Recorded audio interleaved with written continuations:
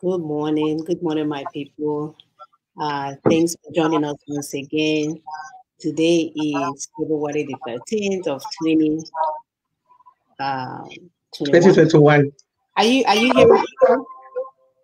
I can hear you. I, Uh, um, find the.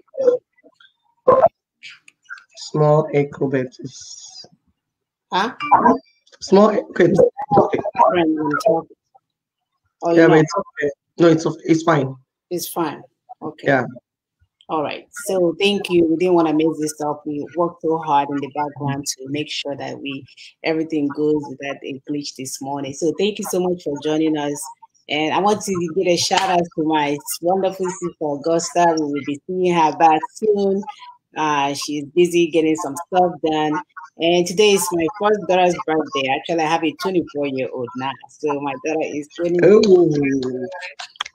Yeah, wonderful daughter.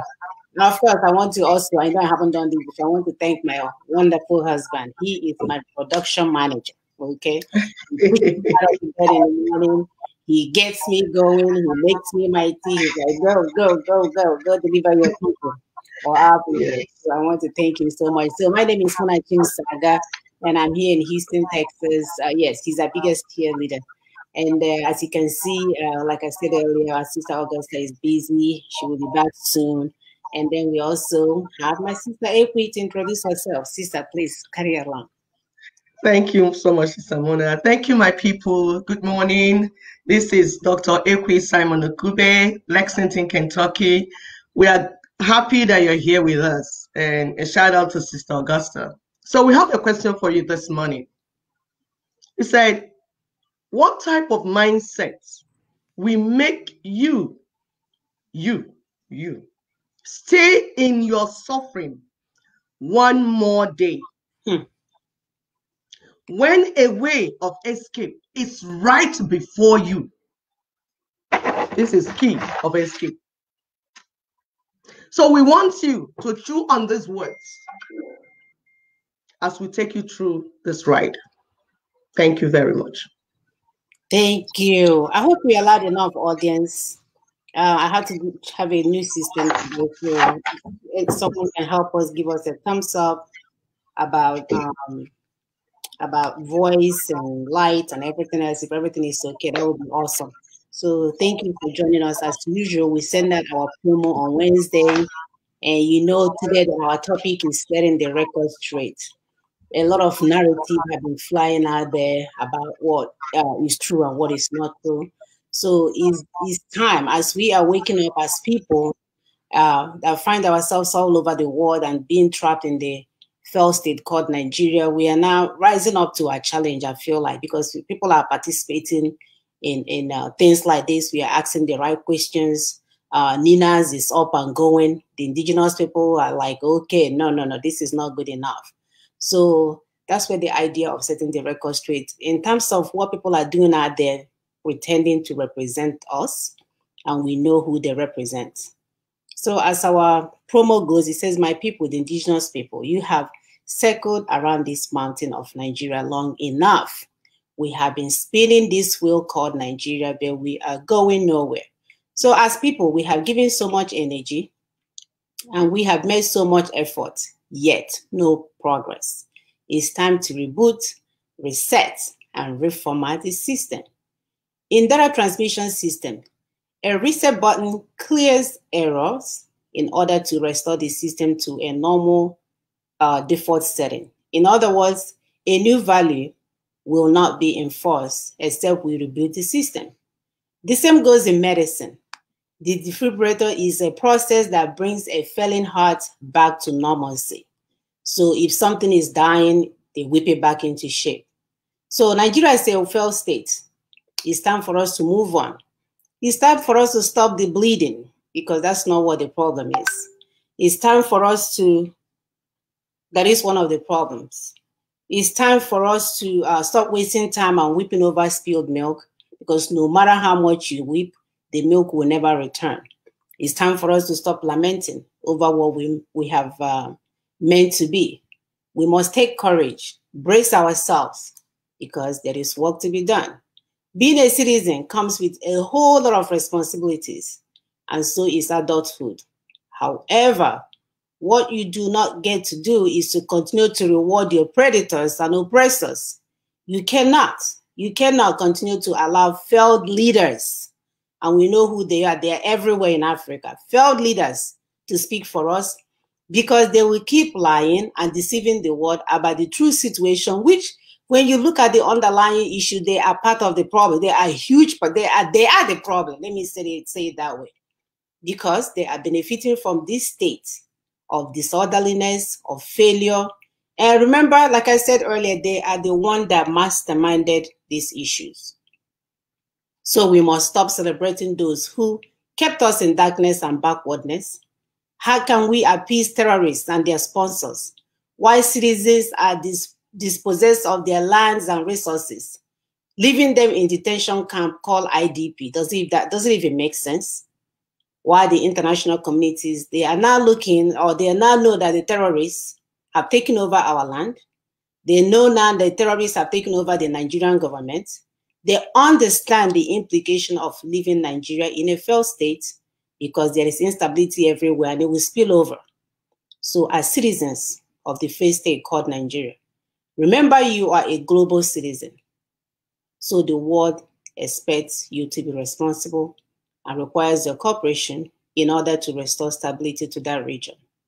So lying, deception will not present you as irresponsible, as it can only present present you as irresponsible and dishonest being because they already know the truth. So join us today as we go in deeper, as we get a deeper dive into the things that have gone wrong and try to set the, uh, the record straight we are going to look at, at our civic responsibilities and tasks in ensuring the extermination of terrorism in our region. We are also going to strike a balance between protection and allegiance through NINAS proposal, which is a time-bound transitioning process. It's a no-brainer. We don't want anarchy. Ethnic nationalities referendum, because we are no longer staying in that failed state. Establishment of new federating terms. Establishment of new federating terms. Should I call it in human times? Because the way we are right now, we are in, in the animal kingdom. And most of us suspending all election under the 1999 constitution until the grievances are resolved as proposed by NINAS and LNC. So my people, it's not that hard at all. So we're going to start today by playing a video because when we talk, talk about terrorism, some people think it's, uh, oh, it's in uh, Syria, it's in there. These people are all over. And you can see what is going on in that country called Nigeria. As of yesterday, another adoption happened of 30 uh, uh, uh, uh, secondary school students. You know, and you know who they would take first. Of course, is the girls. And that's why we mothers are no longer going to watch while our girls will be raped by these terrorists, even uh, impregnated by these terrorists. And now we have to come home with children that we don't even know who uh, the father is. So the time we are in a dire situation, we have no time at all. We must, like also, so we must take off running because the place is on fire. Fuel now is uh, 212 naira for a place that just went through COVID, for a place where people don't have a job, for a place where people are still dying of starvation, for a place where there is no governance, but they know how to raise the fuel prices. Oh, so sad. All right, let me stop lamenting because we are here to offer solution. So let me pull up the video for today. So sad. Um, yes, okay.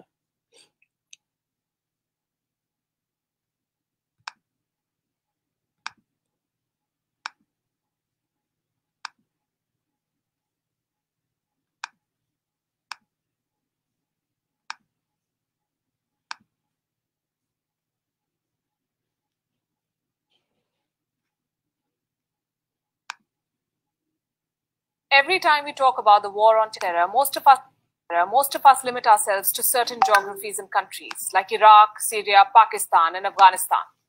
We don't talk about, let's say, Nigeria, where 317 schoolgirls were kidnapped by terrorists last week. We don't talk about Mali, where 10 soldiers were killed in a terror attack just last month. We completely ignore Niger, where 56 civilians lost their lives in a terror raid in the month of January. And we rarely see any international headlines on Burkina Faso, Algeria, Mauritania, Guinea, Chad, Ghana, or Cameroon. These are all countries witnessing a devastating surge in terror attacks. Many of them have become the riskiest places on this planet. And we're making a big mistake by assuming that what these countries suffer has no bearing on the future security and stability of the rest of the world. Hello and welcome to Gravitas Plus. I'm Palki Sharma Upadhyay, and we need to talk about West Africa. This region on the African continent, it is witnessing an unprecedented surge in terrorist activities. It has been called the new battleground for jihadists. The situation in West Africa is extremely volatile. All right, just give me a minute. I'm not sure why this video refuses to expand. Um, I'm trying to get that done because it's sort of tiny. Every time we talk about the war on terror, most of so want to get any on this. Every time we talk about the war on terror, most of us limit ourselves to certain geographies and countries like Iraq, 921,000 people had been forced to flee in Burkina Faso. 593 people had been killed. In Mali, 240,000 people were internally displaced and 592 had been killed. And in Nigeria, 489,000 people had been forced to relocate, while 1,245 had been killed. The blame for these deaths and displacements lies with jihadist terror groups. Most of them have made a marriage of convenience with global terrorist organizations. Some are associated with the Islamic State, others with the Al Qaeda, and all of them are pushing West Africa into deeper turmoil. But how did they emerge in Africa and why are they thriving? To understand that, We'll begin with Algeria. The year 1992, the Algerian military staged a coup to prevent the Islamic Salvation Front from winning the country's first democratic election. The Islamic Salvation Front was an Islamist political party. The coup pushed Algeria into a civil war, a brutal conflict that lasted till 2002. More than 200,000 Algerians died during this period and 15,000 others disappeared. Among those who disappeared were Islamist fighters who fled the country. They found refuge in the deserted areas of northern Mali. These were sparsely populated areas. The fighters rebuilt their resources, they allied with local rebel groups, and they began in engaging in criminal activities. In 2007, these fighters reorganized themselves into a faction and swore allegiance to the Al Qaeda. They called themselves Al Qaeda in the Islamic Maghreb, AQIM, meaning Al Qaeda in the Islamic West. This group had one aim overthrow the Algerian government and set up an Islamic state. And to achieve this aim, the AQIM began collaborating and funding a smaller militant group in neighboring Nigeria, a group which now beats the Islamic State in being the most lethal terror outfit perhaps in the world, the Boko Haram. It literally means Western education is a sin. This group emerged in the year 2002 but gained prominence in 2009 after it turned violent. The AQIM provided the Boko Haram with weapons. The Boko Haram had different motive. It wanted Nigerians to reject Western education, science, and modern literature. To enforce its will, it started razing villages and slaughtering people, kidnapping children, it then used these abducted children to carry out suicide attacks. In 2013, this group kidnapped 276 schoolgirls. In 2020, it kidnapped close to 300 schoolboys. And last week, it kidnapped nearly 317 schoolgirls again. It's an endless cycle of kidnappings and an endless cycle of violence. Since May 2011, the Boko Haram has killed 37,500 people and displaced 2.6 million people. It has turned 244,000 Nigerians into refugees. And in the same period, the Boko Haram has also inspired several fundamentalists to form their own terror outfits. I could name a few. The Ansarul Islam, Ansaru, the Islamic Movement of Nigeria, the Libyan Islamic Fighting Group, and Nusrat al-Islam. In the last six years, these groups have increasingly synchronized their operations and carried out multiple terror attacks across Africa. You may not have heard of them, but you must have come across these headlines, the ones that they made. The 2015 Chad suicide bombings carried out by two women and two children. The 2016 Ouagadougou attacks, where two former Swiss MPs were killed. The 2016 Grand Bassam shootings, where 19 people, mostly expats, were killed. And the 2018 Ouagadougou attacks, where the French embassy was attacked And this is besides the many more raids and crimes that these terror groups commit on a daily basis. So, what's driving them? Is it just ideology and religious belief? Well, yes and no. The problem is religious as much as it's financial. You see, poverty, corruption, and underemployment are also to blame here. This is where the Boko Haram operates. The late. All right, so we have this video on our uh, Facebook page. Um, you can watch it in its entirety over there. This is just to highlight uh, some of the things that we're telling you today that the world already know. While our faith leaders are parading as the uh, solution uh, partners, as the one that will solve the uh, solution, uh, solve the problem, whereas they are the one that created the problems in the first place. And this is why this is so important to us, for us to begin to understand that we must speak for ourselves. Like we literally have to push the the cameraman and the media people away and whoever that is doing the interview and say, hey, enough of this, that we no longer want these people that are responsible for our failure to speak for us because they have hands. Aka hand on here. All right, I'm going to play the next video.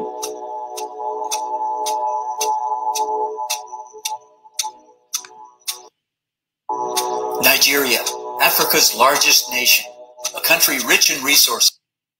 I'm sorry about that. It won't let me expand it. I don't know what's going on. Nigeria, Africa's largest nation, a country rich in resources, but battling two genocidal insurgencies. U.S. national security is threatened. The International Committee on Nigeria, or ICON, brought together top African experts to bring a warning to Washington. Foremost among them was former President Olusegun Obasanjo, speaking at the National Press Club October 14. How did Nigeria get here? Islamic State is defeated in Syria, but still alive and deadly in Nigeria. Thousands are killed by Islamic State's partner, Boko Haram. Jihadist terrorists burn thousands of churches in Nigeria's northern states. Whole villages are wiped out. Millions are homeless. Christians are being massacred. What is the root cause? Is it a fight over water and land? A religious conflict? An ethnic conflict? Americans rise in protest as media ignore the story. Genocide survivors visit United States, but many churches remain distant. When you hear about Nigeria, you begin to hear about many existential threats. We are elevating this story and conversation about Nigeria. The implication of Nigeria going down affects everybody, including the United States. Nigeria imploding, God for peace, the whole Africa will go down. The point that Stephen made while he came to the podium that whatever happens in Nigeria will affect the rest of Africa. Yeah, yes, so, because he created the Boko Haram, right? He gave them the Sharia state. That's right, in a way. But if we do not put our own house in order, Mm. most parts of the world will go on regardless.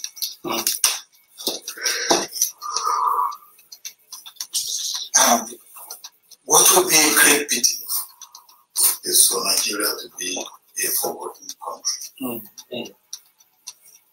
Mali, what has happened in Mali is that the Tuaregs and the Fulanis have come together. And that will go along the whole of West Africa. Good for you. Good for you. Well done. Because the only tribe that you will have, that you have in almost any state in West Africa is the Fulani tribe. In any state.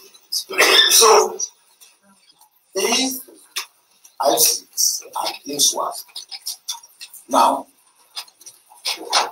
get together with the Fulani, what they need to do is take over a country like Libya, which is a failed state. Libya has resources that probably not many African countries have. And if ISIS or whatever you have takes over that, as I was saying to President Uhuru Kenyatta, all countries north of River Congo will be in trouble. I believe that genocide is taking place in Nigeria. Boko Haram has killed over 27,000 civilians, and some say many more, more than ISIS killed in Iraq and Syria combined. Greg Stanton of Genocide Watch has said the following quote, Boko Haram is committing genocide against Christians and crimes against humanity, against children, especially girls and kidnapped to become sex slaves. Mr. Stanton went on to say, quote, Fulani militants in central Nigeria are also committing crimes against humanity and genocidal massacres against Christians. Congressman, well, thank you very much for what you are doing. After you um, break the mess, you're thanking him for, for our part of the world, generally, but for Nigeria in particular. And um, uh, I cannot agree with you more on the uh, point you have made mm. that this country needs to have a special envoy to look at things and hold things together. You mentioned a number of them security, uh, population, education, development, uh, particularly in the northeast uh, zone of Nigeria. I think you need a special envoy mm-hmm. for Nigeria and the Lake Chad region mm-hmm. because to coordinate the different embassies in Nigeria, in Cameroon, in the surrounding countries, and I think can bring together the, the, the forces of the United States working with other international aspects, England, France, and others, to really bring about a solution and stop the killing. Awesome. Awesome. So this is uh, our last video for today. So do, do you want me to show the pictures now at, at the later time? Sisepi, are you there? Yeah, I'm here. That's a later time, let's um, do the presentation and then so that when we're showing them the pictures, they understand. Um, what, what do you think? No, that's fine. That's fine. Just that it was so convenient. It was sitting right there. Okay, okay, then let's do it. Then no, let's no, do it. Fine. We can go ahead with our our. Since uh, sitting on the place, so that we don't go into. no, no, it's okay. I got, I got this. Okay. I got this. Okay. So this, okay. um, yeah. So anyway, so we're going to move on with our presentation. And as you guys can see in that video, we highlight the so-called uh, former president uh, whatever his name is, the one that just celebrated the birthday when our people are dying, the one that some people are referring as kingmaker because they're looking to be the president, they're looking to run for presidency in 2023. So he's their kingmaker. And we just want to highlight how these people, they have systematically destroyed our lives. They have systematically did everything, imposed policies that make sure that we go nowhere. They have done everything, and yet, when it comes to speaking for us, when it comes to asking for solutions as to what's going on, they will turn around and call the same man that created the problems. Do you see why we'll be running in circles? If we don't follow up with NINAS protocol and extricate ourselves from this hellhole. If not, these people will continue to play with our lives because today, really, we are not human beings. We are monkeys and I don't know, gyms or whatever else they think that. I don't even think they give us that kind of, uh, uh, they assign us that kind of worth animals because they love their animals. So I don't know what else they look at us at, uh, as. So let me pull up this uh, presentation. So we're going to give you guys a little information here about Obusanjo or Basanjo so that we can begin to understand how these leaders uh, over the period of years uh, have been part of the uh, problems that we have.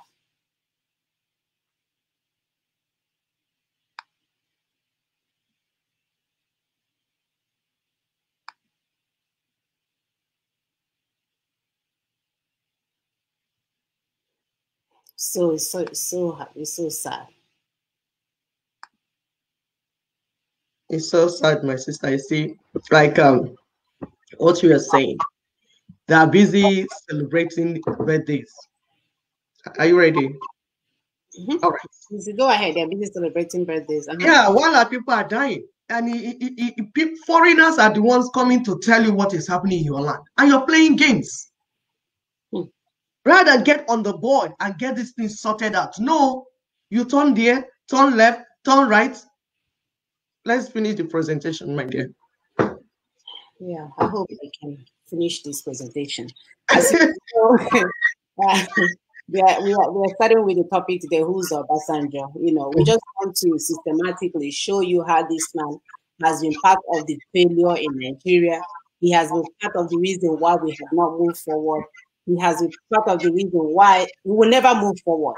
As long as they are there turning around and speaking for you and going back and forth, we will never move forward. And thank God for NINAS who understood this. Because if you're waiting for Obasanjo to come and destroy and tell you, oh yeah, if you leave Fulani, they will take over Nigeria and turn it to Libya and go right to, to, to Afghanistan. You know you will be waiting to, to you die. You can see he's living his best life. I don't know how old he turned. Uh, uh he, he, he became this. Uh, 84, my dear, 84. Okay, with all the money he's stolen, he still look like he's already dead, a dead man walking. So um, Obasanjo, Mati Okikiola, Aremu Obasanjo or Obasanjo, of course, we know that he's a military leader who served the, uh, the Nigerian head of state from 1976 to 1979, and later he became the president from 1999 to 2007. Uh, in 1999, he became the PDP candidate for the presidential election. And then in 2003, he was, uh, I call it re-empowered through the so-called election versus selection. So despite his record for human abuses, massive corruption, uh, the global community praised him for overseeing Nigerian transition to representing democracy. You know, because you know their life was you. I don't know if you guys remember not too long ago that guy, uh, that CNN guy that came and said that Nigerians are the happiest people on earth mm. while they are stealing our resources. You know, so if we can recall what Gaddafi, our brother, told us when he was alive, he said that once any African leader begin to receive praises from the world, he's literally telling us that he's not working for their people. Rather, he's serving the purpose of the internal and external colonizers, and he gets rewarded with power and wealth. On Obasanjo, Obasanjo has already shown us that this is how, how they roll. So, yes, Go ahead. You know, like what you said, just want to remind our people. Obasanjo was PDP, mm -hmm. became a president under the on the platform of PDP, did all the nonsense he did, and then brought Yar'Adua because he became the kingmaker in Nigeria. Mm -hmm. If he tells you to go, you go. If he tell you to die, you die. Whoever he kills alive is alive. Whoever he kills dies. So he's the one that will say who will come and who will go. So he brought Yar'Adua and Goodluck. Because he's the king, he's the kingmaker. He's the owner of Nigeria. Nigeria is their personal company. The company of Britain's company and Fulani's company. Mm -hmm. And mm-hmm. Obasanjo was their manager. Mm -hmm. so over for 11 years, he was running in and out of presidency, in and out of presidency. And when he finished, he brought not that he finished, he wanted to go the third term. It's just that there was too much resistance. He brought Yar'Adua and Goodluck. And a Goodluck came and started solving problems, putting things in place, changing the foundation of Nigeria that will make us move forward. Of course, that meant that he would step on the toes of our kingmaker, Obasanjo. He stepped on his toes. Remember the pension scheme. So many other things that Goodluck tried to change that will make the people experience development. It will hurt them because these presidents, what they do, these colonial masters, what they do is that they will never do any program. They have two reasons of doing anything you see them do. Whatever they change. Darkness. Yes. Whatever project you see them execute is either they are gaining from it personally or they're going to hurt their enemy. They have a foreseen enemy that they want to hurt. That's when they don't care about what will benefit the people. So if it happens that that thing benefits the people, is a byproduct. And then the people will think it's working for them.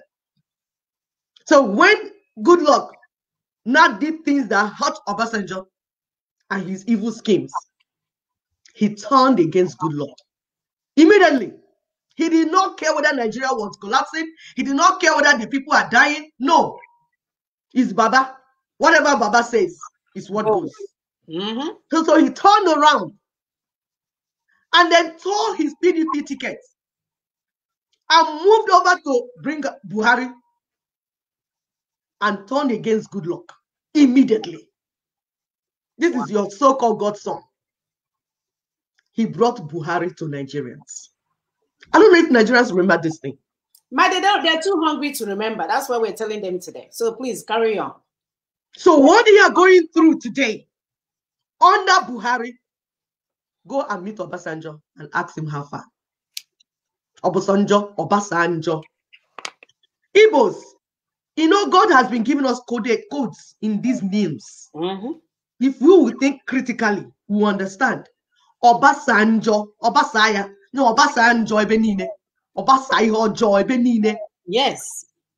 Mm-hmm. You see the other one that say Oshiomhole. So you, you, you have an idea, Oshiomhole. Look in their names, you will get the code. Go on, Sister Mona, please. My dear, it's so sad. It is so sad. So we continue to look at the failures of Obasanjo. So during his term, there was constant friction between the legislature and the executive at the detriment of the country. He did not care. All he wanted to know, if he doesn't end by what he said, was actually a one-man show. If he doesn't end by what he said, nothing gets done. Yep. So it's like uh, some of these people that are running some rogue franchise. It's, it's, it's all on me or nothing. yes. And They then learned it from Nigeria. Yeah. And they want us to continue in Nigeria. You Oh. come from the zoo, you enter museum. Go ahead, please, my Thanks, my sister. So there was ceaseless violation of various provisions of the Constitution and the systematic institutionalization of Ghana must go as instrument of political settlement. So if you, do- if you, do go ahead. Yeah, it, it, it, because this morning our people, because we realize that Nigerians have amnesia. They do not remember at all. Whenever something happens, my dear, they dance it away and joke and then move on. They hardly remember, they hardly link things up. And this morning, we want to help you to coordinate things together. This Obasanjo that you people are celebrating, and it, we are using him as as example. There are many of them like that. The people that created the mess we are in today, then you are looking up to them for solution. Meanwhile, they created this mess. Hmm. And when they were in charge, the mess was the same. It's just that my people say that arụ bụ ahụ. Eh, arụ bụ ahụ, kezi ọbụla omenala. So when you allow evil to fester, it will become the custom. So these people, they call them generals, they stole Nigeria, they stole the mandate of the people. They did. And they have been doing it like they're playing ball. Obasanjo will kick to Babangida, Babangida will kick to Abacha, Abacha will kick to Buhari, Buhari will go back to Obasanjo. Then it's when, like Hajim Majideji, they hold the yam and they hold the knife, not the Nigerian people. So we're trying to tell you this morning, Nigerian people, you lost your sovereignty a long time ago. It's not today it started. They never And had it's something, I, I- I never had it. And it's something they planned. They planned it among the gang of thieves. We call them gang of thieves. Mhm. And they set up the political system that you have today, set up the constitution that you have today. All these things they planned. Of course, we know that the finger, the hidden finger under is Fulani and Britain, because these are internal and external colonizers. Britain is external colonizer, Fulani is internal colonizer. But Fulani is how people that you call willing tools. They Mhm. use these willing tools to change things in the country that do not make sense. There are some things you, some policies you will hear, you say, where is this going to? What does this have to do with anything? My dear, that policy is what will keep you in poverty, make you to be that is you're too poor, you are too afraid to speak. They have three things: fear, poverty, and military to hold the Nigerians down while they steal all your resources. They are all part of the same arm robber gang. Yes, partners. Yes. At the detriment of our people. So during his terms, instead of setting goals and targets that can posit- positively move the country forward, he played politics of divide and rule, Mhm. ethnic sentiment, religious passions, exclusionist agenda, and ran a one-man show. In 2023, under his watch, the price of petrol, uh, petroleum products increased 11 times. Hmm. 11 times people in a country where people live under less than a dollar, right? Yeah, Mhm. live, yeah, less than a dollar, about 75 cents a day. Yep. He increased the fuel products 11 times Hmm. as a result of his so-called failed private privatization program that he implemented and hundreds and thousands of people fell deeper into poverty as usual. So you can see this is a systematic effort on their own that they are do- doing this thing. They actually they this is where they spend their economic money. How we can do this and do this because the more they take you down the more you cannot reason. Who in their right mind will be thinking about policy and politics when you have not eaten breakfast? Who in their right mind will be thinking about future when you have haven't survived right now so you can see all these things are efforts. Or like my sister said or efforts of both the internal and external colonizers to continue to keep us down. And then they will write us a headline news. Nigerians are the happiest people on earth. When in their country. There is water when in their country that is free uh, um, uh, uh, healthcare when in their country there's infra- infra- infrastructures everywhere that people should uh, benefit from when in their country they live the best life they go to vacation they enjoy their lives and while we are eating concrete concrete Concrete. Yes, while we're eating concrete, they will go and tell us, they will put it in British newspaper for us. Nigerians are the happiest people. Agawazie, eh, how down can I go? Egwu, anyị a na-agba ka ndị ara. All these things was systematic, people. Ihe niile a, ma them giving you visa to come and live in their country, all of them is part of their system to bring us down and kick us out of our country so they can continue their impunities. So, And, uh, go ahead. you know, there's something because this writer uh, made mention of how Obasanjo. There's something said about tribes. You know, like divide and rule, and and how. Can you read it again, please? Can mm-hmm. you find it? Something Yeah. about being tribalistic or something. Yes, he said instead of setting goals and targets that can positively move the country forward, he played the politics of divide and rule, ethnic sentiment, religious passion, exclusionist agenda, and ran a one-man show. You see, this person, this writer wrapped it on because this is the issue we have when people say they are professors, they are doctors, they are engineers, they are these all these big big titles. Because what this big title does is that when you hear a big title, you think this person should know. And that was what happened to our people. When we hear professors talking, say, yes, he's a professor, he knows. He's a doctor, he knows. Engineer, he knows. You're a doctor, a gynecologist. It doesn't mean that you know how to analyze politics if you have not studied what is going on. It only means that you can help women that are giving birth and women that are all their general issues. That's what it means. You're a neurologist. It means that you can deal with brain. That's your area. Oh. Don't get it You twisted. not come and start challenging brother Tony that is specialized in law, jurisprudence. That is his area. You're a professor. You're professing whatever you're professing. It does not make you a master of all. Yes, You're professing only in the segment of whatever you studied. that's it. Oh, that's it. Don't get it twisted. That's it. Do not Don't get it twisted. otherwise.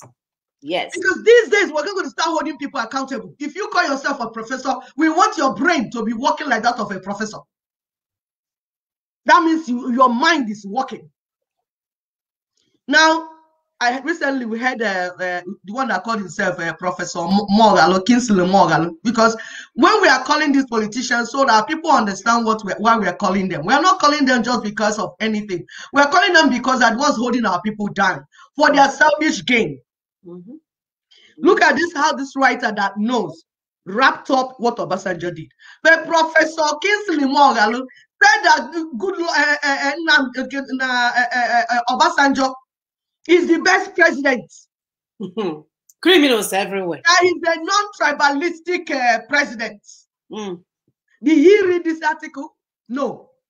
Was he there to understand? No. But because maybe he gave him some cuts when he was deputy of uh, CBN governor, uh, CBN uh, uh, deputy of deputy governor of CBN or whatever. Maybe he's one that gave him that position. Maybe he's one that positioned him. So he will come and tell us that he's a wonderful president. And of course, he wants to go in for president of uh, Nigeria 2023. That's what he's eyeing. So they'll tell me you have to appease the kingmaker. You have to go through Baba. So even if Baba is, is shitting on the altar, Kingsley Moghalu will come and tell us he's the best president. He is non-tribalistic. Our people, Morona Anya, wake up, people. Wake up. Nobody loves you. Nobody cares. Nobody, nobody, nobody, nobody. All of them, all of them are part of this criminal enterprise to hold us down. And if you continue to believe them, whether they speak your language or not, they will continue to kill you. They will, I remember when they started doing this killing in northern area and all this, this, we thought like, oh, that's their problem. It doesn't concern me. And we have heard it saying that injustice anywhere is a threat to justice everywhere. It's just a matter of time, people, it will be your turn.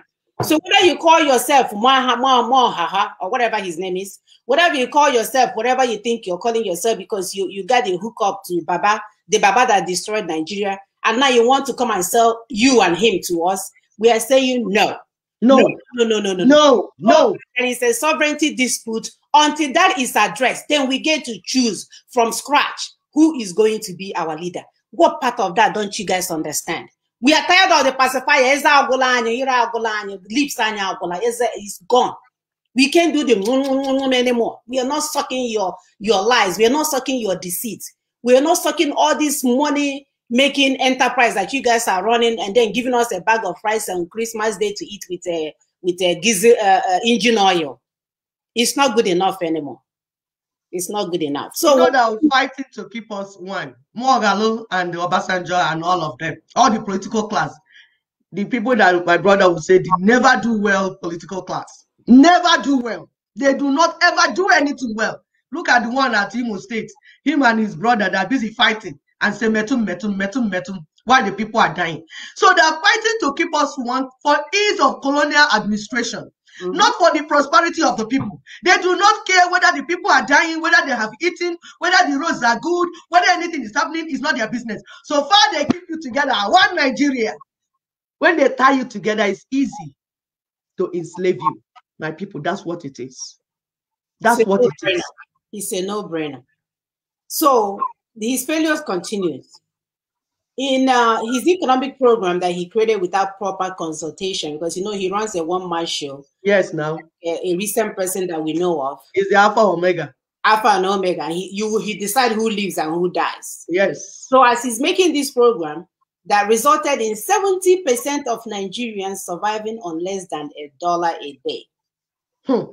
Less than, less than. I wrote it twice. Wow. Wow on less than less than dollar a day. So that was that, that was uh, during our Obasanjo's uh, uh, um, uh, presidency. So the healthcare centers are we talking about? They were in deplorable conditions. I don't even think they exist because they have to be you have to be in existence to have to have it in deplorable conditions. Exactly. Education and agricultural sector were in a sorry state the country they were uh, at that point were import was importing food items from all over the world.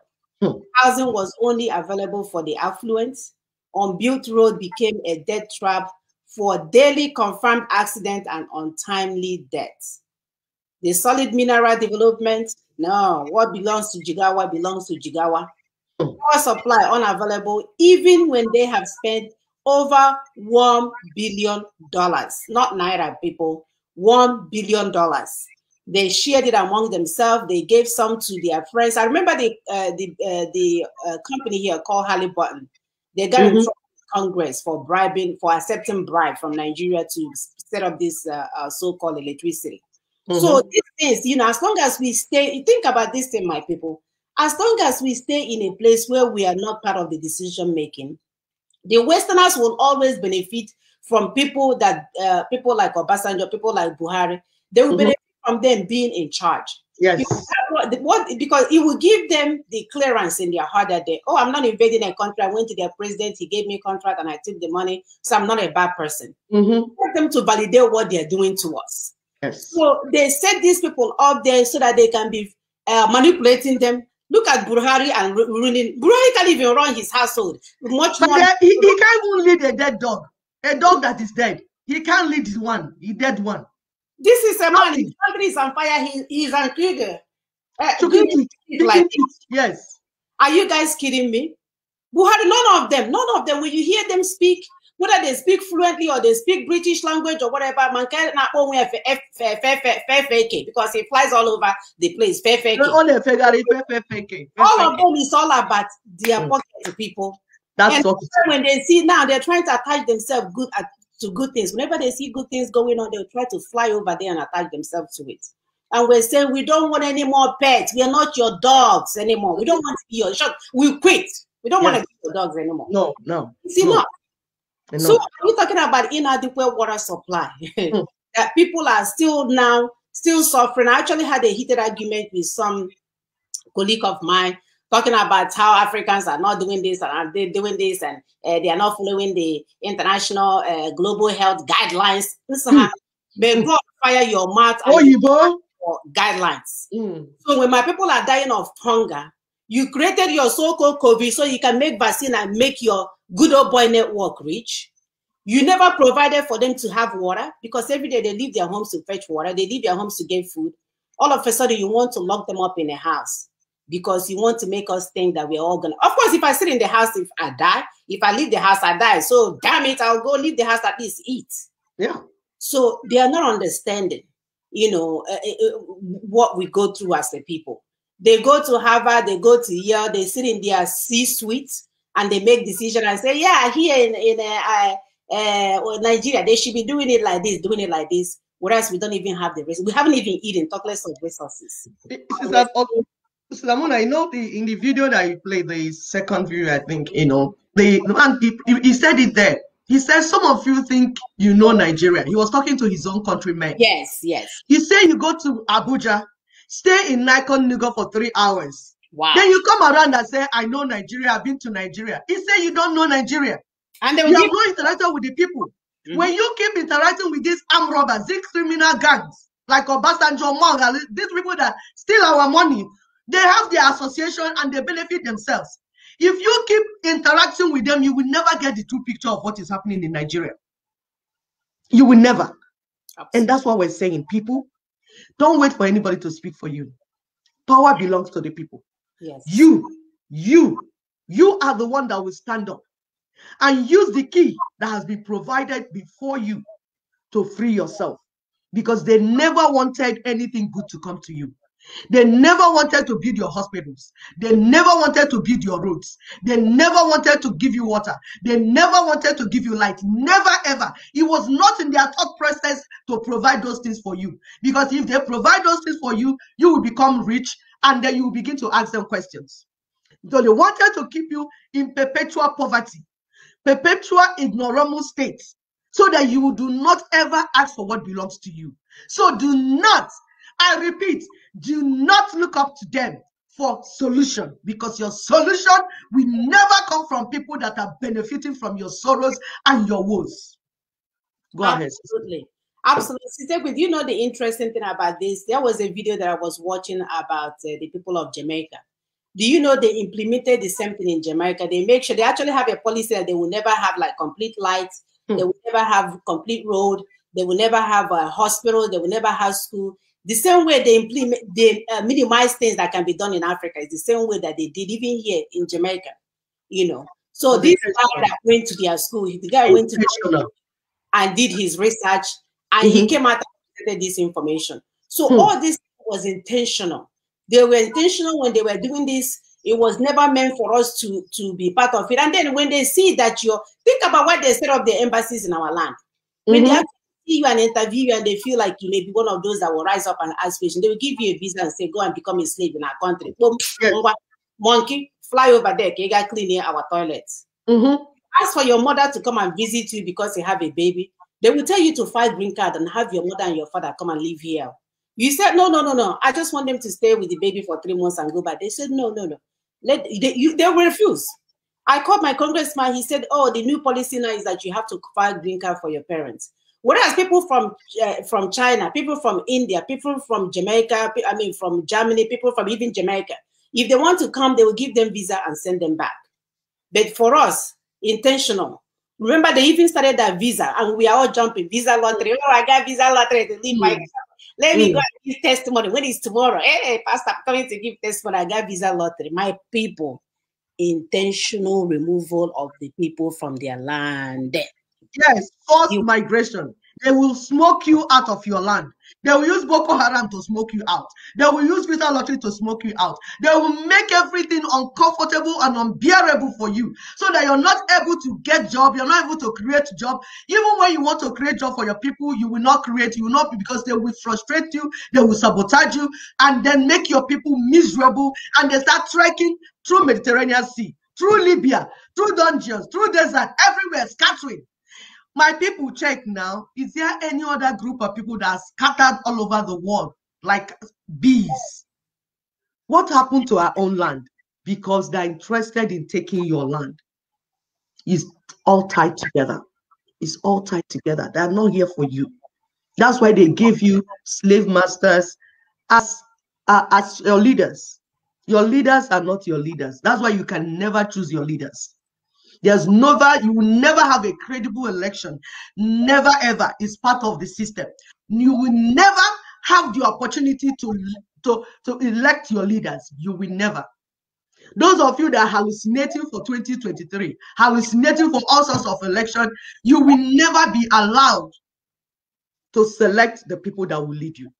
They will impose leaders on you. And those leaders will be members of their criminal gangs that will make sure that they continue to keep you in poverty, continue to make sure you suffer and suffer until you die.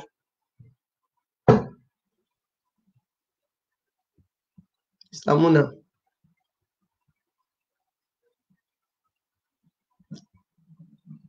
Is it frozen? Hello?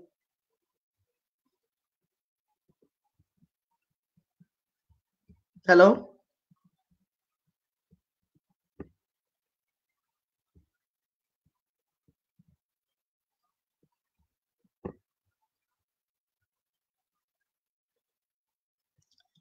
I don't know if people can hear me. So we're telling you this morning. How do we know if you can hear me?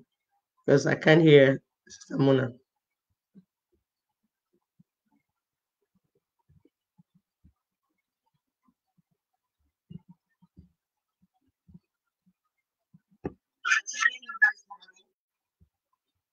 So we're telling you that you need to stand up and face what is before you. There is a solution. There is a key. There is a key. The key is here. We need to reset the system. We need to reset this system. We need to rebuild it. We'll start afresh so that we can have a country or countries that we can call our own. It is not okay for us to go through another roller coaster. When you continue to drive, drive, drive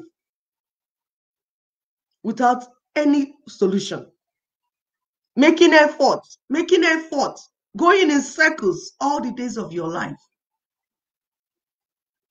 I just lost a cousin. What happened? They were at Ore Road and they had armed robbers, armed robbers. Of course, he, he must have had issue, he had issue with hypertension. Untreated. Where's healthcare? There's no healthcare to treat anyone.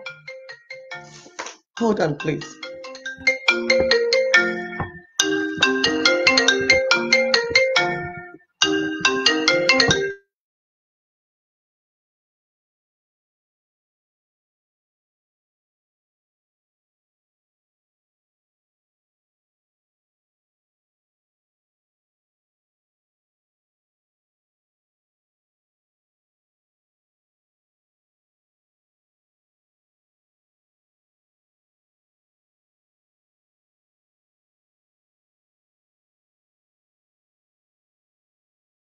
Okay, viewers, sorry, um, we don't know what happened. Uh, the technology uh, fell upon us, on us. So we go back to Zoom to continue this program. Please um, hang on. We, we will win this battle. We don't care. Attack us. Stop what we're doing. We will not stop. That's one thing we promise you. We will not stop, and our people will not stop because our people are awake now and are about to take their freedom. Thank you very much. Please hang on. We're going to move again to Zoom. Thank you.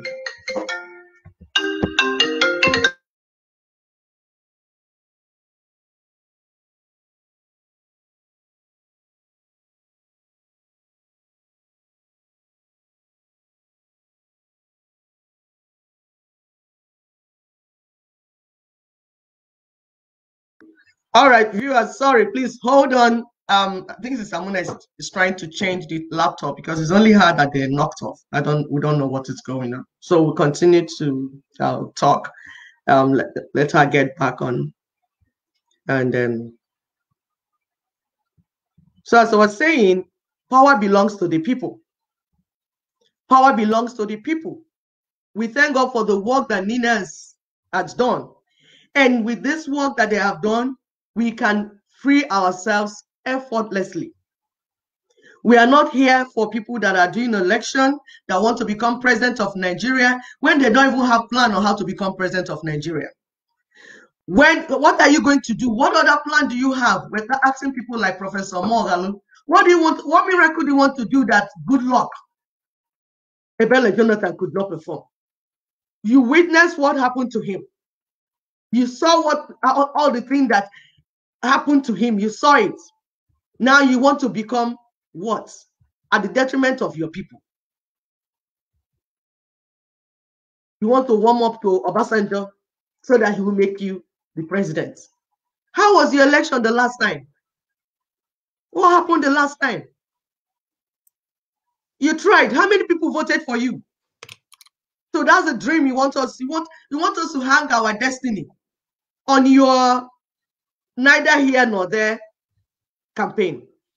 Samuna, you're welcome. you know, whatever we're hitting them hard, they will go and tell They come. I told them that we don't care. We are here. The women of Africa are here to take over the land for their Yep. children. Yep. So no amount of your manipulation, no amount of your tummy off and tummy on and all this stuff will work. We are serious about our children. So sorry about that. I was talking all of a sudden they cut me off, turned down my thing and all that. I have to log back in. But it's okay. We are not relenting. There At work to be done. All right. Sister, we continue. Let me find my screen and finish the uh, okay, through the presentation. Yes, I was actually, yeah. Okay. So as we're saying, we are talking to political, uh, uh, the political class, the politicians. More or less just a representation of them. yes. It's not him alone. We're not calling him alone because that's how they reason. The way they think, the way Moghalu thinks, even when he calls himself a professor. That's the way that political class, that's how they think. They are say out of touch, Sister. They are out of Yes, touch. they're out of touch. They're not in tune with what their people are going through. Mm. They come with a high politic uh, idea, like, oh, I do this, I do this, I do this, and because I'm a professor of mathematics, I solve mathematics, and then uh, Nigeria will work. Mm. When you are not aware, you have, and some of them are aware of the problem because if you listen to Moghalu, you will know that he knew what NINAS is doing. He knew that Constitution, uh, 1999 Constitution is a problem. He knew that we needed to do regional, region, that anything we we're going to do, we're going to go back to the regions. He knew all that. He knew all that. He had all that information. Then he would turn around and say, vote for me so that I can do it. Really? Ofonye Nesi Laura. Eh? Professor. Mm. And that's something we would like to teach our people about because you know, for so many years they deceived us with their degrees. I am doctor this, I am a professor this, I am a Makwonyen with this, I am a advocate this. And when you look at their reasons, Egude, you can see they can't even manage. Some of them, their wife has their wife has already keep them out of the house. Again, we keep using family as an emphasis. They cannot manage a wife and two kids, but you will see them running around. If you interview Moghalu's wife now, you find that she has been in bondage. Yeah, she may be going to Dubai to buy her clothes and all that Yes. stuff. But half of the time, the man is not home. He's in a hotel room with 16 year old because they want the country to stay the same way so they can continue to molest our children. It's we sad. know what they are doing. It's sad. Our It's sad. prayer is that people will begin to understand that these people, this political elite, will never speak for you. They will never mean well for you. They will never look out for you because at the end of the day, it's all about Ogen Kemeruola. I need to Yes. collect. Yes. I do you say Yes. Ogen Kemeruola? It is my time. Yes, it's my time. It's my time. I need to collect. Sister Muna, this thing does not make sense. Like this small alone of a person now. He's from Nnewi. Oh. Nnewi children and boys are running up and down, looking for how these are very industrious people, looking for how to walk to the Mediterranean Sea all over the world, looking for how to get greener pastures. Then he's having dream of how he will help the Almajiris and Boko Haram in Sokoto, in Katsina. How he will do this and remove poverty in Sokoto. Have you removed the poverty at Nnewi? Uh, what about his father's uh, uh, village? You're talking about the whole. Exactly. He's mm-hmm. a chief. oh. He said he's chief of Nnewi. Now you're a chief. You are doing your chieftaincy in in in in, Amer- in America. What does chief mean? Chief means that you are ruling your people. There's a reason why you're a chief. And you're supposed to be chiefing it in your land. But no, you're on exile in US with your children. You can't even afford to bring your children home because you are afraid of what will happen to them. Yet, you want to lead my people. You want to speak to my people. You think you know it all. When my people are saying this is where the pain is, this is what is hurting us. No, you don't live to listen to them. You want to help house up a Fulani man in Karanamuda. You have Fulani man in Sokoto. What if you have your own nation and you become the president of that nation? No, because they will micromanage you. He wants to make your own money from that loose Nigeria that is useless mm. and failed, where everybody is stealing and nobody is catching them. No accountability. That's mm. what you want to be the head of. Right. You want, you want to be the head of a failed state, not a new nation that you can nurture and bring into like limelight and the, the world will marvel. No, you want to stay where there's mess so that you will marinate in the mess and then get your own cuts and become the ezego of your village. And all your villagers will come around you as almajiris to ask for bread and rice at the end of at December. And you bring engine oil and give them. Hmm.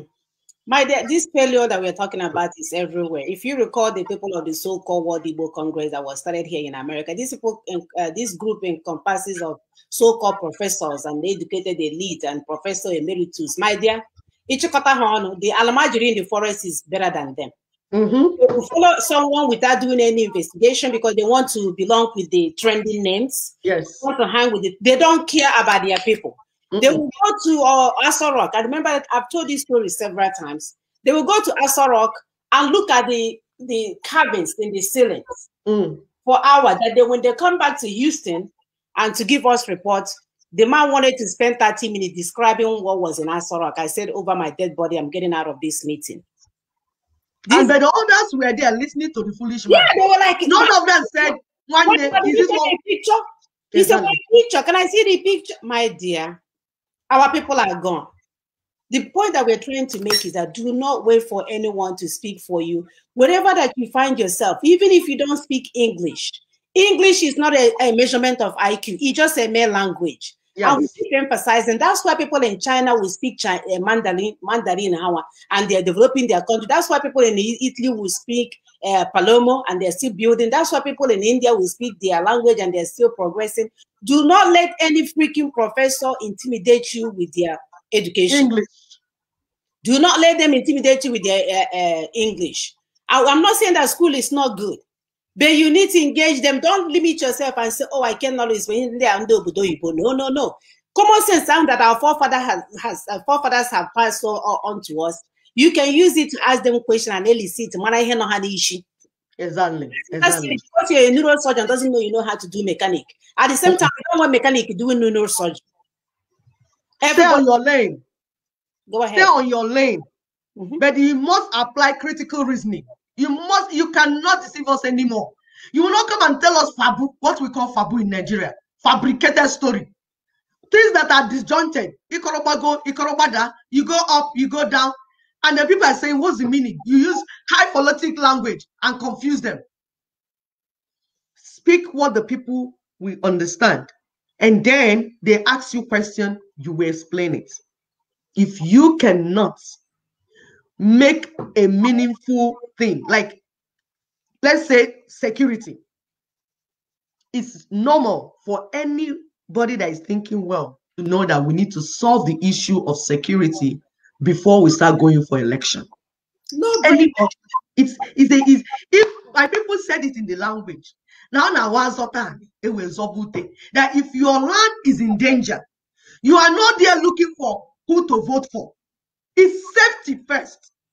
Whether you're speaking Igbo, you're speaking Hausa, you're speaking Yoruba, you're speaking English, it's safety first. But anybody that is coming to tell you that you should leave this issue of safety that is on ground and start voting for him, that person is a criminal. Born criminal. Say that person that doctors don't do, say that person is a criminal. You are a criminal. I don't care whether you answer professor, doctor, engineer, whatever you answer, you are a criminal. Look at our people at Aguleri demonstrating, the women saying that uh, Obiano there is taking all their land in the name of building international airports. Because that's what they will do. They will tell you they want to build international airport. Actually, they want to bring land for the Fulanese. Yep. Because it's not nobody is, is supervising what they're doing. So they will make the indigenous to give up their lands in the anticipation that airport is coming to them. Meanwhile, there's no airport that will come. Even if it comes, it will be a mushroom. Mushroom, one small checkered thing that you ask yourself, is this why you took my land? But at that point, you can't ask them anymore because they have given all the land to the Fulanese. So they are agents of Fulanese, all of them. All of them. All of them. Without we to them as internal colonizers. Yes. They are agents of Fulanese, all of them. No exception. No exception. Anybody that you are saying that Fulanese are taking your land and you say vote for me, that person is a criminal already. He's already working for the Fulanese. Go ahead with presentations. My dear, we are about to finish. This is the last one. So during okay. the uh, terms of uh, uh, Basanjo, we saw overwhelming poverty and un unemployment, which is still ongoing. He implemented policies designed by international financial organizations, outside international financial organizations, and donor agencies that does not support development. That's what he implemented. Hmm. That does not support development. He encouraged the development uh, of underdevelopment. That's what he did. He mm-hmm. encouraged development of underdevelopment and promote capital flight to serve the colonial purposes. Bottom line is that Obasanjo government lacked a cohesive, coherent, articulate, people-oriented and comprehensive economic policy. That means Obasanjo actually helped to catapult us into deeper slavery that we found ourselves when he showed up. So we already know we are not criminals like other people that steal information. Uh, this was done by our brother in UK, uh, Ayo Ayo Obole Ayobulu. So Ayobulu, we thank you so much for this information. Uh, this is wonderful. This is what we want people to use their degree to do to critically analyze what's going on at home. Mm-hmm. A, a, press report for people to understand what's going on. For you to lie to your brother and so Passenger is a, a nice man. Uh, mm-hmm. did this for me because he can okay, mm-hmm. taking your share and you want our people to remain in bondage. We're saying no, not again, my brother. You don't get to do all of that. Wait, wait. And Samuna, do you know another thing that um, that uh, uh, is immoral of a person said? He said that Boko Haram is a non-issue. Of course, he's in America. It's a non-issue to him now. Yeah. He's not in here. A fourth, the, the fourth most dangerous global terrorist group is a non-issue. Out of touch. Are you kidding me? Mm. He said that uh, people that say they don't want English, uh, uh, Western education. What is that to me? He does not even understand the link.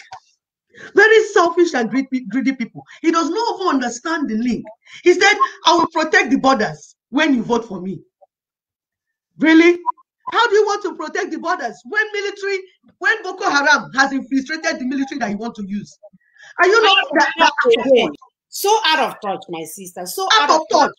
Are you not saying that all the systems of governance in Nigeria have been taken over by Fulanese? How do you intend to do it? What magic do you want to do?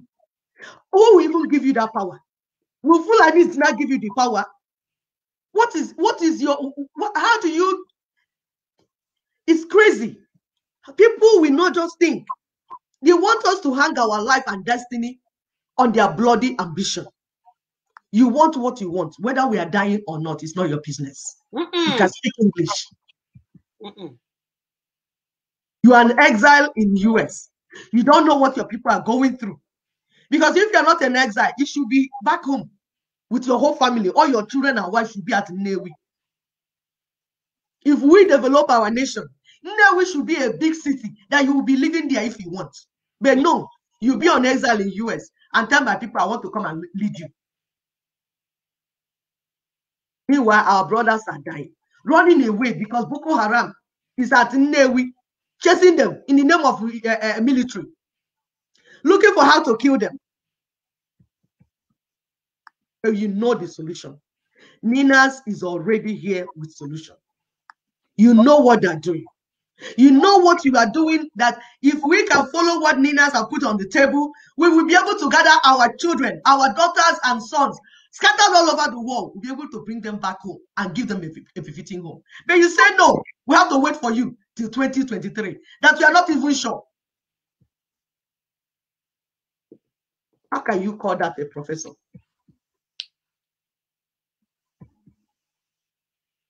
We're showing our people. It is a picture already. Yes.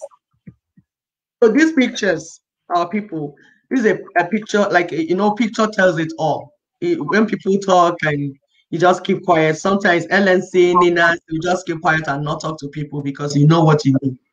But today we feel like it's okay for us to show you some of these pictures. We have them already in our wall for you to see what was done for you. These victims of Boko Haram were taken to the White House. We are taken to Washington. To the people, because sometimes when we talk here, people say, How are we going to bring the international community? The international community that are more aware than you. The Hmm. international community is waiting for you. Yeah, why you're busy, following a, a, a, a supreme leader? Yes. supremo. They understand the underlying issue. Their problem is not supreme. The problem, their problem is to save the lives of our people. Exactly. And not just even the lives of our people, their own life, because understand that this is a global issue. Terrorism is an international issue, it's not a local issue. It's just like some diseases that you have in your hospital. They say if you have so so so thing, you have to report it to a bigger organization because you can't micromanage it. So is terrorism.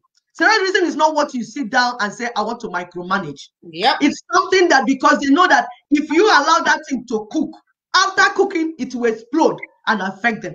They know that their own nation is at stake. So you can see what is happening. You can see the pictures, conferences, meetings have taken place.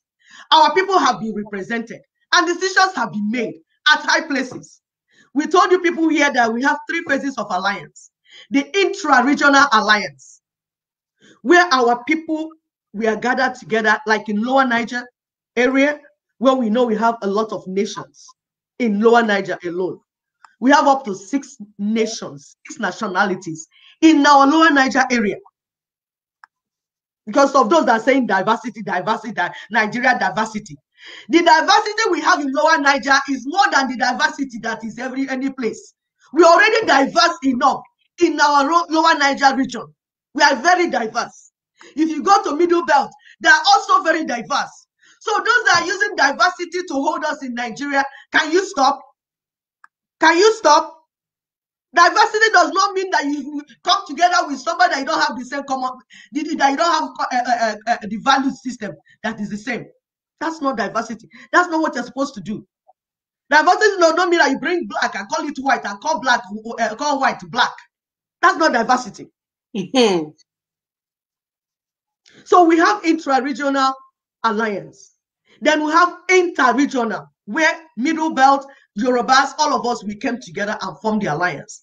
Then we have the international imperative. I said it last week, where we had to bring in those at international level, the stakeholders. Some of them have resources in our land. Some of them have investment in our land.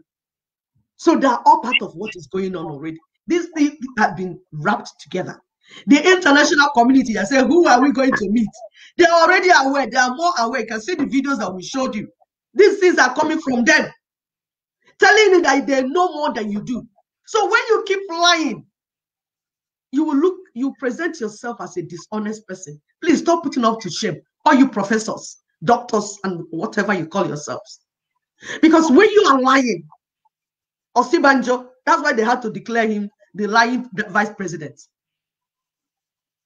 Because they have people or they have surveillance, they have diplomats, they have people giving them information 24 hours. Then you go there and tell them, no, nothing is happening. It's farmer clashing with headman.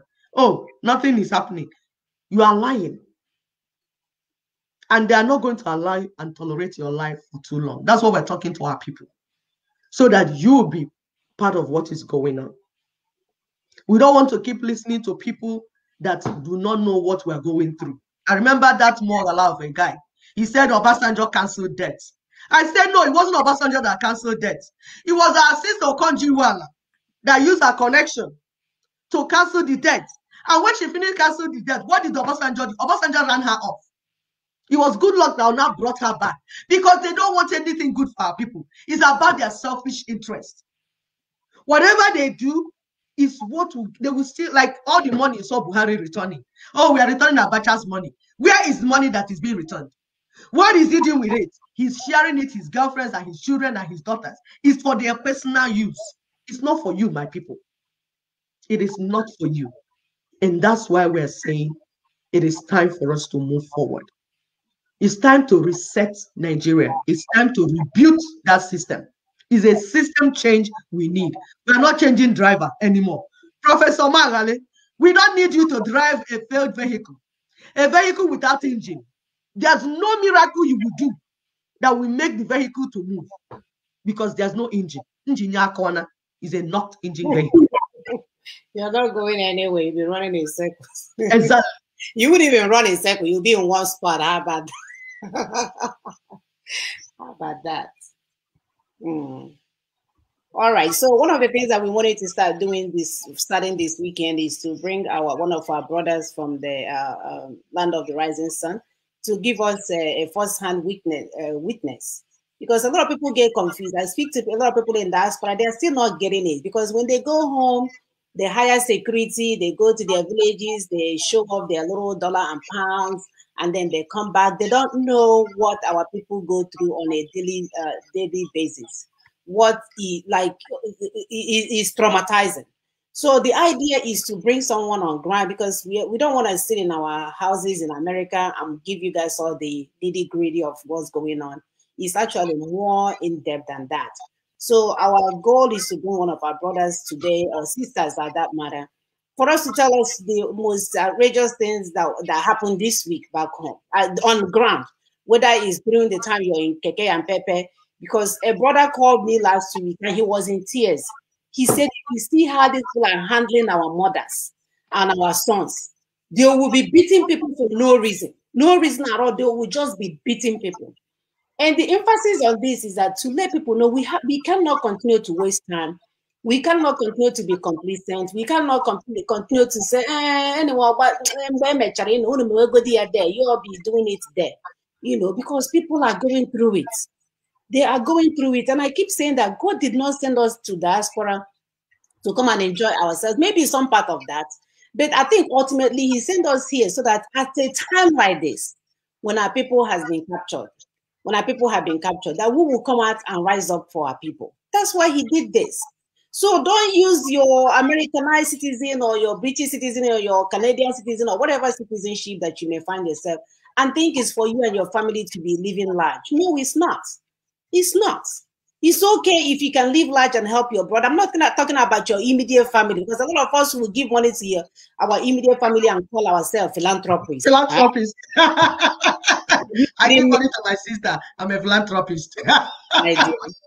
So that's not what we're talking about. You know, invest resources, invest time, invest energy in what we are doing because it's for the overall good. we Africans should start thinking for the overall good, not like, oh, okay, let me take care of my family, we are good, and you're kind of like being nice to the people around you and giving them rice and engine oil. My That's dear, talking about. you know that's how we were before. We are communal people, and we're still like that. Is this colonial issue that destroyed us? Because they came and brought some strange words. Like in our language before, when you say one name, one name is my literal meaning is my mother's child. But that name, that you can call your cousin that, you can call your uncle, your anybody near you from your village and your clan is one negi. And that's what confuses them. When you say, Oh, it's my sister, they'll say, Huh? Is it your mother that gave birth to her? Mhm, They will not understand it. Mhm. So they took away our culture. And that's why we are going back. When we talk of restoration, because sometimes we take to restoration, we are not saying restoring you to whatever name in your brain. That's not what we're saying. It's a it's identity restoration that we are talking about. To who you are and who you were originally, your ancestors. So when we talk about nationalities, forming alliance in NINAS, the Igbos, you come, you are you are you are you are an ethnic nationality.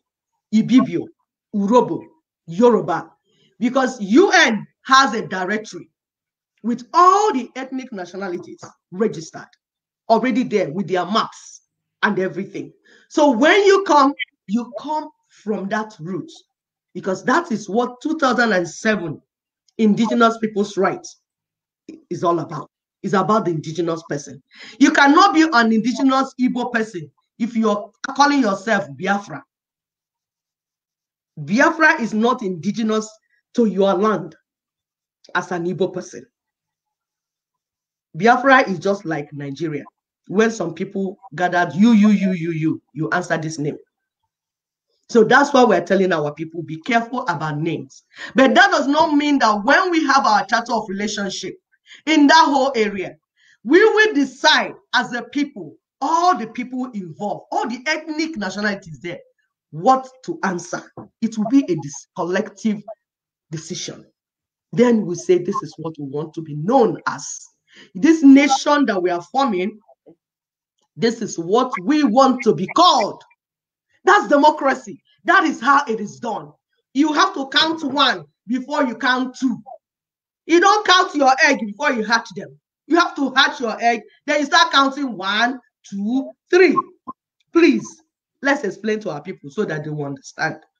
I- Are they there? Is somebody online yet? Yes, yes. So our first hand witness is here to give us some information for today, okay?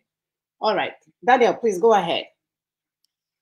Okay, uh, good evening, uh, everyone watching this uh, very program this evening. I greet each and every one of us here from Akwa Ibom. I am with uh, our brothers here, and uh, some of them will give an account of what is going on in Akwa Ibom. An eyewitness report of what is happening on ground, and to call our people to do the needful this very evening. I want to thank those who have given us the opportunity, daughter, Daughters of Truth, to join in this program this evening. I want to talk about the issues of uh, the political uh, issues going on in Akwa because there is no need, we, no way we'll talk about social awareness without looking at the political situation here in Akwa. We are in a civil service based economy. And um, in this civil service based economy, we have um, be, everything has been so politicized to the extent that everything has been so politicized to the extent that people no longer think about uh, social survival. People no longer think about uh, how to advance their uh, the progress of their society, the progress of their environment, or rather, it is how to benefit from the political uh, uh, uh, kick that is being shared at the end of the day. Young people are now engrossed so much on in politics that at the end of the day, we don't have voice of truth. We don't have uh, voice of uh, that stands with the people. Whenever you come out to speak, they are always asking of which political divide do you belong? Is it of the PDP or of the APC? So this is the problem we are having today. So we are calling on our youth that it is there is every need for them to do the needful, to think about tomorrow and not just what their pocket can eat today. To think about tomorrow and not just what they will be able to feed at the, in the coming days. To think about tomorrow to make sure that at the end of the day, things are better for their unborn children. That is why we are doing all we are doing today to, to emancipate our people. And before I continue further, uh, brother here will also want to speak with uh, everyone that is watching this Good evening to everyone of us here watching this program. I want to say good evening to us all here from River Unit beautiful program. I'm Comrade Seth, calling right from Akwa um, and I'm giving an eyewitness update on the affairs of things here in Akwa State. Um, I first and foremost want to stress on the issue of uh, um, um, opportunities for the youth. Yes. So, youths here in Akwa Ibom State over time has found themselves to be at the receiving end of every political issues, every political phenomena.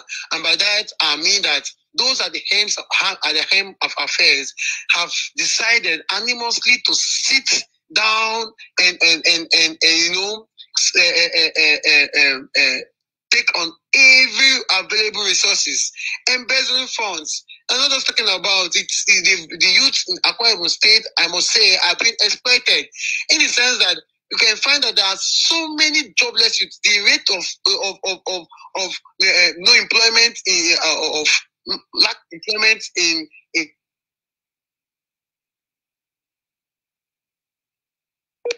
in, Akwa State urgent, urgent, you know, it calls for urgent uh, attention because here in Akwa State, you find that all the youths are, are, are, are so much involved in politics.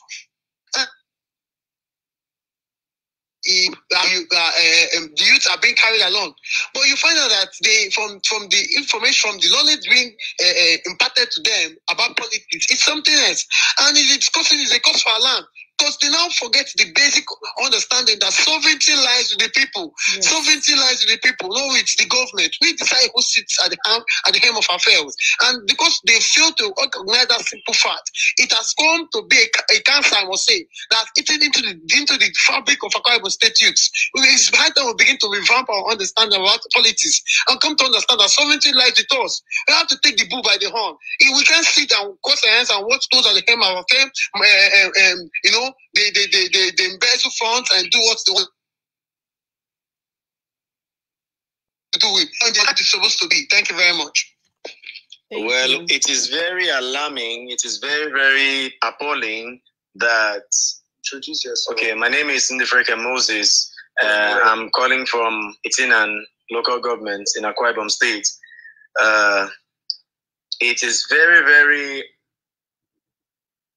alarming and very, very annoying to know or to see that the youths uh, have no say. The youths cannot really express themselves owing to the fact that some unnecessary cabals in the country have taken over and we do not know what to do. Now, as it stands, in Akwa Ibom State, the youths are totally annoyed. Reason is because we cannot express ourselves. And this is owing to the fact that the kind of constitution that we operate doesn't really give us room and enough access to our basic rights. You find a situation whereby the, the, the rights of the youths are being trampled upon. A situation whereby the youth cannot have effective say without being afraid.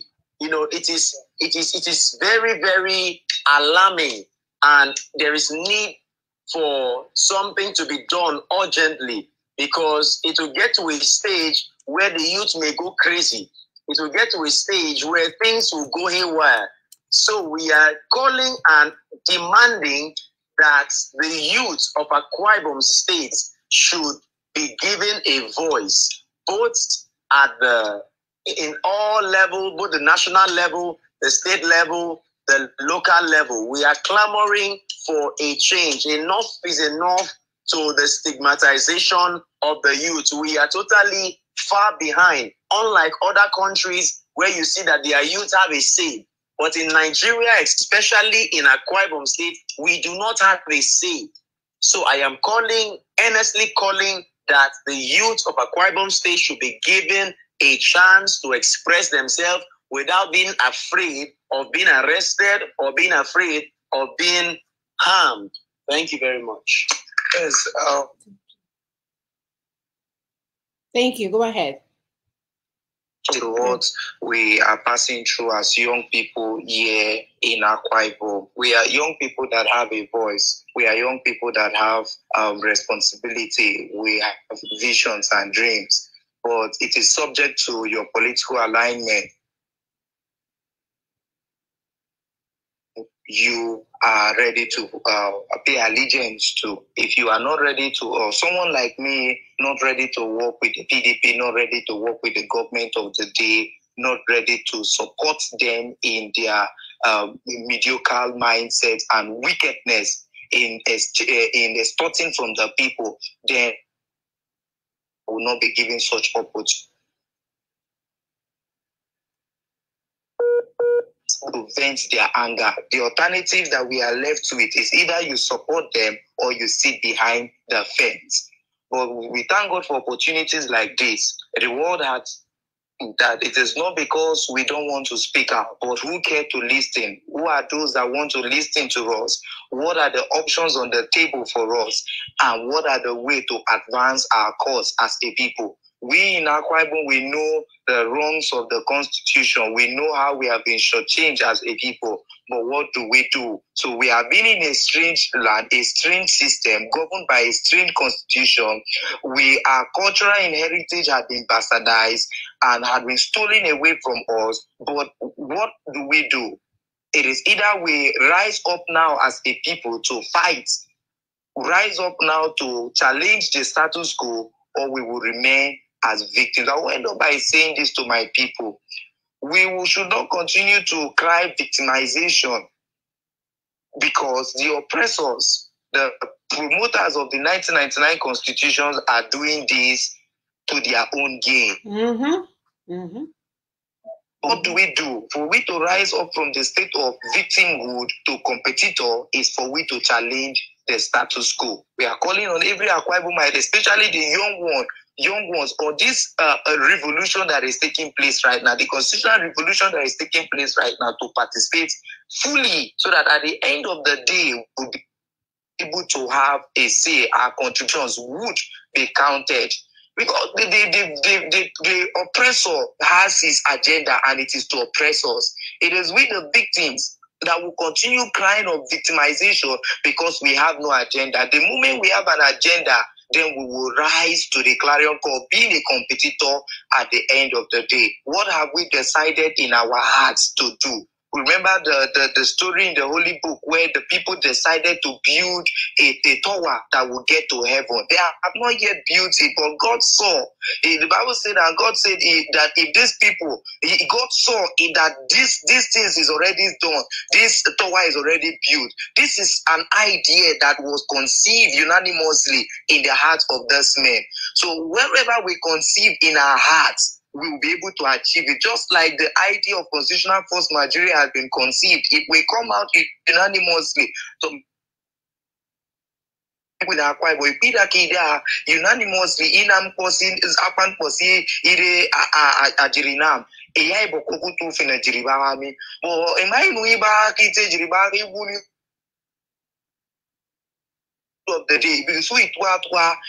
bisu iba na na ba and it be ba it be park ufun ufunomi so ya irakira is support mkpo se lower Niger Congress na mami so that no tunde ajiriboko kufu and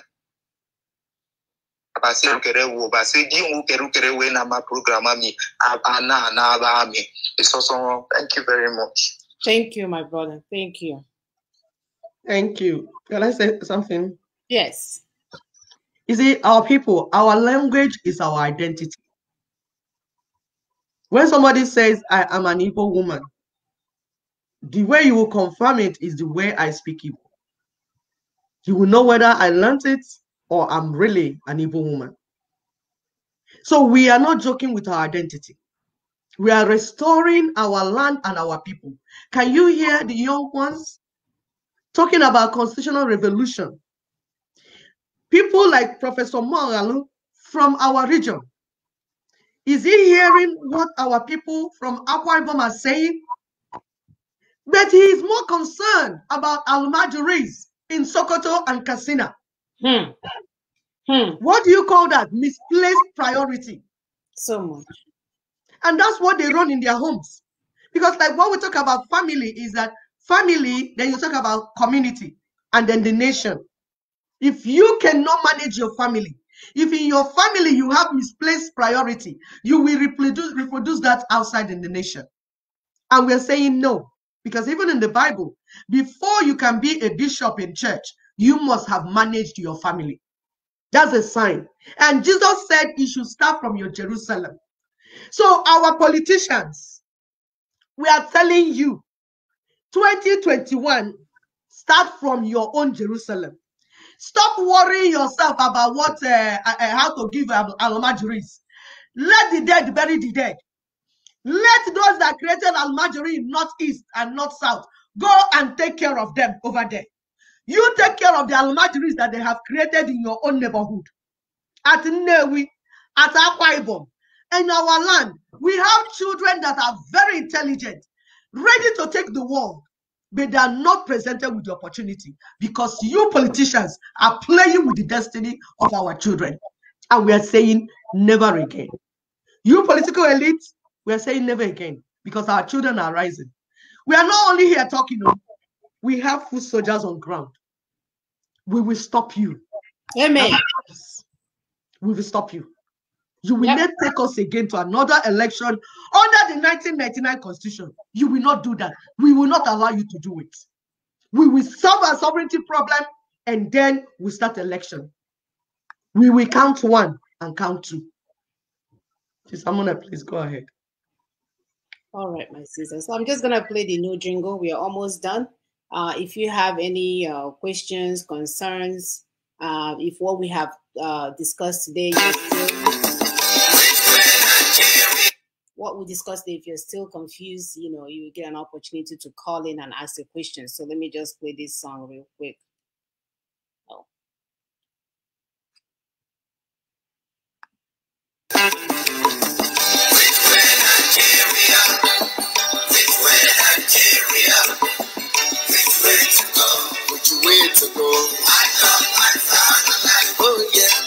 want to know. Yes, I want to know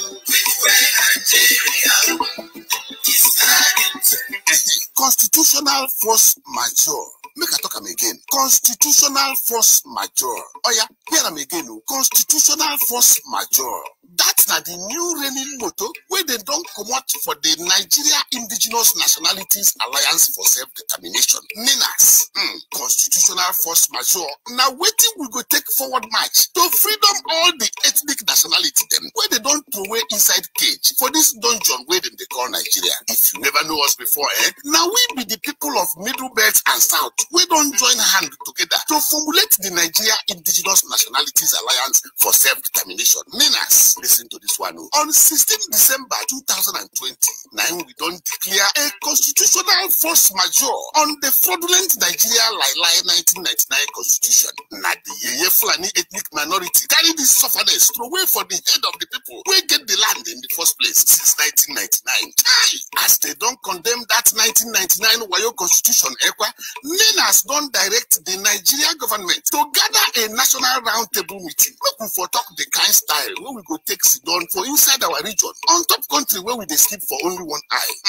This na wetin that big grammar constitutional force majeure go do. Suffering and smiling e don do. Nigeria people don suffer reach wetin we never see nigerian people don chop fear for mouth all the land of the south and middle belt don turn to river of blood. Wetin all because of this evil Nigeria 1999 lie lie constitution. Hey, I beg, true to God, Egwa, they don't push us reach the wall. Nowhere to go again. Enough is enough. So therefore, yeah, everybody, make una come, make we join hand now with Ninas, make we for support the constitutional force majeure to free ourselves from the Fulani British captivity, so that we go forward march into a free nation where your security and development is guaranteed.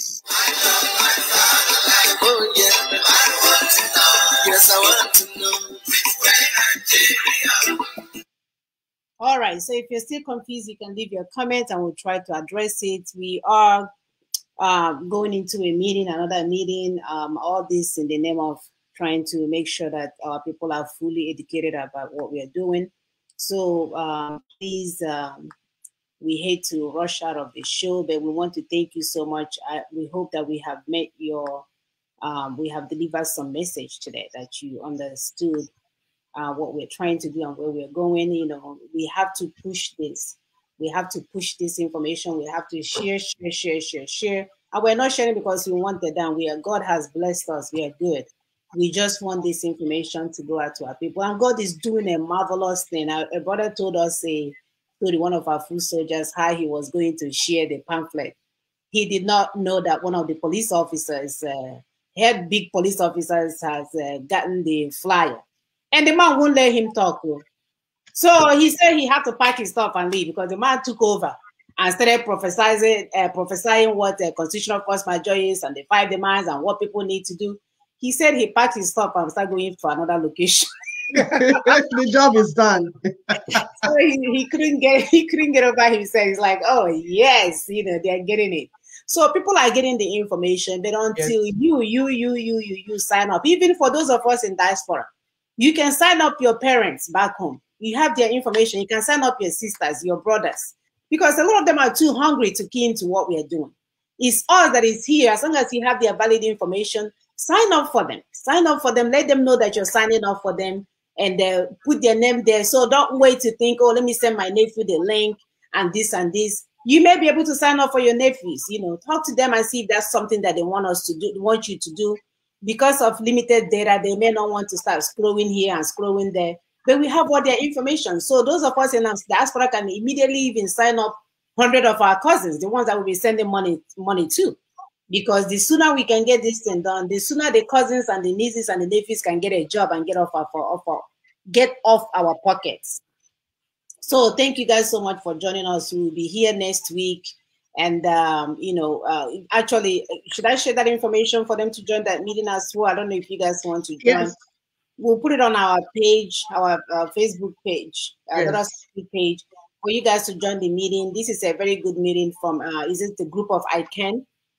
Who, Yes, they need they need it is titled Resetting Nigeria to Sanity. You need to be part of that meeting. Um, our brother uh, Pastor Tony will also be speaking. Although the restructuring people will be there talking their own, but when we finish, we'll shoot them down with our own because we know that we have a superior argument. Um, we want our people to have a voice. So please, we're going to post it, and it started at 5 p.m. Nigerian time. Yeah, we are not afraid of debate. Bring it on. This is what we No. want. We're not afraid Yes. of debate. We've done our homework and we'll take you down because you, you're not going anywhere with the failed state called Nigeria. No. You know, giving you guys 60 years, we're giving your internal and external colonizer 100 years of uh, uh, business, uh, um, what is it called? Business enterprise in our land, and they haven't Mhm. done anything for us. Mhm, So mhm. this is our time, people. We are Yes. the constituents. Let's go out there and fight this war because you can see our brother Daniel and the rest of them, they are not doing too well. And we need to come to their rescue. So we cannot wait till we see you guys uh, next week. Thank you guys so much. Much love. Bye. Bye.